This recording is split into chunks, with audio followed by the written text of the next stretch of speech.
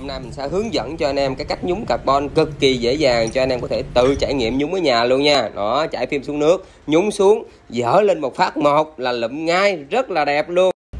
Đây, đây hello anh em, vàng nhựa nhám của chiếc Winner. Mình cơ bản đã xử lý xong rồi, bây giờ mình chọn phim để nhúng nha. Ủa bà hỏng khách à, muốn nhúng văn gì ta? nhúng uh, vân tổ ong anh Tổ ong?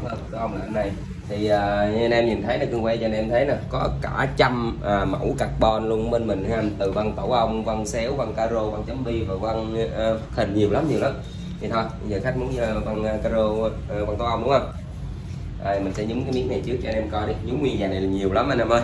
Đầu tiên thì mình sẽ chảy phim xuống nước canh phim cho nó thẳng đều đúng vân nè và đúng chiều nữa nha anh em. Sau đó thì anh em sẽ phủ một lớp hoạt chất lên trên phim.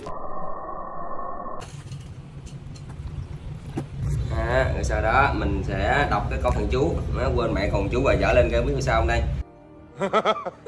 quá đẹp luôn anh em ơi. Một phát ăn ngay. Rồi tiếp theo thì mình sẽ nhúng cái bộ khóa nha anh em. Anh em xem nè. Một hai ba. Còn gì nữa đâu mà khóc với chồng. Giờ uh, liêm xả ra giùm anh đi liêm. Xả nhám ra giùm anh rồi khò nóng ra giùm anh nha ừ, xả mắt luôn